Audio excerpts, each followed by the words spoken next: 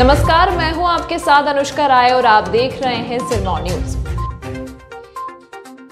पापटा साहिब में राजस्व विभाग के कर्मचारियों की मिली भगत से फर्जीवाड़े को अंजाम दिए जाने की पुख्ता जानकारी मीडिया तक पहुँच गई है। इस पूरे प्रकरण में बाहरी राज्य के लोगों ने पापटा साहिब में जमीनों को खरीद फरोख्त कर फर्जीवाड़े को अंजाम दिया है। फर्जीवाड़े में शहर के मौजूद लोगों की संलिप्तता सामने आ रही है।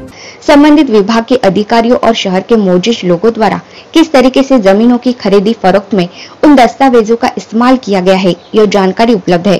बाहरी राज्यों से हिमाचल में आए और ज़मीन खरीद डाली, जबकि हिमाचल में सिर्फ़ और सिर्फ़ हिमाचली ही ज़मीन खरीद सकते हैं, किंतु ऐसा नहीं हुआ।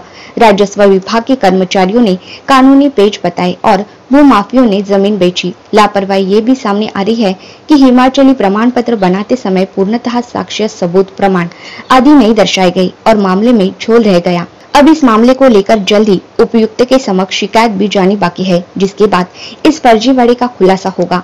जमीनों की खरीदी फरोख्त में एक नई कई मौजूद लोगों की संलिप्तता सामने आ रही है। एक अन्य मामले में भी गैर हिमाचली ने भू कब्जाने के लिए किस तरीके से मिली भगत से राजस्व विभाग को गुमराह किया है, इसका भी खुलासा जल्द होने जा रहा है। अभी तक के लिए फ़िलहाल इतना ही। खबरों के साथ बने रहने के लिए देखते रहिए सिरमौर न्यूज़। पिया तो रखे सा अभिमान। पिया तो बीती यादों से नाता सहेजना सीखा। हाथ थाम कर जिनके चलना सीखा।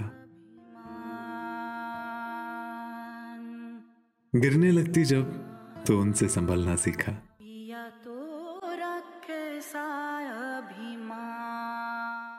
उनकी डांट से खुद को तराशना सीखा। तो